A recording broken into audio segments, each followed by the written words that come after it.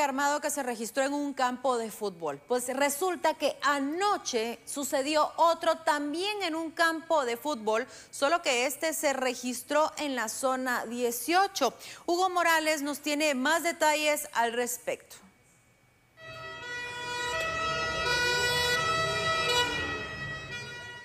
Así es, compañeros, información importante y es que los cuerpos de socorro de bomberos municipales han reportado un ataque armado en la zona 18, el cual deja a algunas personas heridas por proyectil de arma de fuego. Nos encontramos con el oficial Javier Soto. Oficial nos puede comentar los detalles de esta emergencia.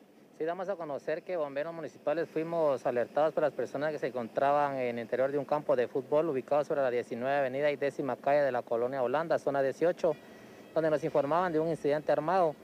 El Centro de Coordinación de Emergencia le da seguimiento a estas llamadas enviando unidades con técnicos de emergencias médicas.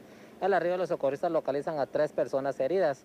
Dos de ellas han sido ingresadas a la emergencia del Hospital General San Juan de Dios, identificadas como Anthony Boche de 21 años y Selvin Francisco Lima de 44. Y una tercera persona es ingresada a la emergencia del IC de la zona 6. Oficial, eh, ¿tendrá el conocimiento de las heridas donde estas personas presentaban en sus cuerpos?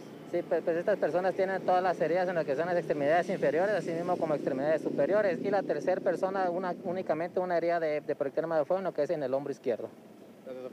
Compañeros, pues es la emergencia que atiende el Cuerpo de Bomberos Municipales. Importante recalcar que en la tarde de este domingo se reportaron dos ataques armados y el eh, común denominador que tienen es que fueron en campos de fútbol, para un total de seis personas heridas por, por proyectil de arma de fuego y cuatro personas fallecidas durante lo que es tarde-noche de este domingo 27 de junio. Es la información, compañeros, con imágenes de Vila Martínez. Soy Hugo Morales, regreso al estudio principal.